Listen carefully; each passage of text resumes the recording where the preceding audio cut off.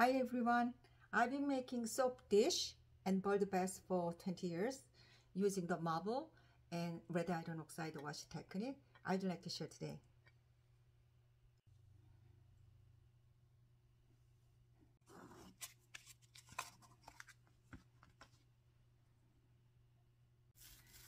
I usually use a saran wrap for 20 years uh, for the smooth out. You do the front side and back side using the both the saran wrap and this one easy to carry, easy to hold together. Then I bought this one at dollar store long times ago. Then I love to use the result over the my piece. Then after that I use carry this put inside with the mold of the uh, soft dish mold like that.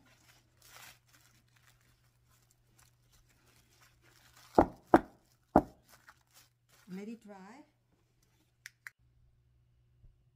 After bisque firing, apply red iron oxide wash over the bisque surface.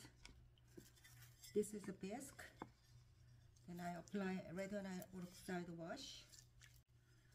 Then using the uh, water, cleaning off using the, uh, the glove, wash it off.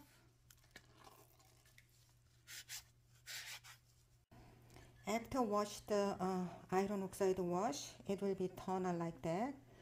Then now I'm going to apply Cone 6 semi-opaque mint cream.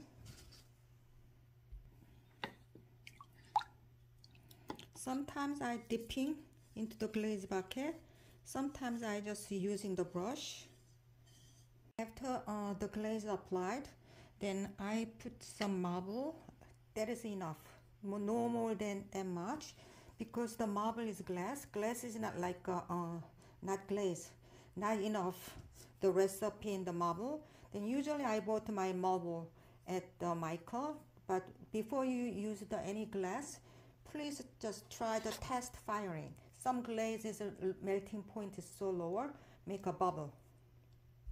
After you set up the marble, uh, I, as I told you, the marble is not uh, enough glaze recipe. Then I'm going to apply clear, like a T2 clear cone 6 glaze over the marble. That means I'll make a little bit marble more like a glaze. It's kind of MSG.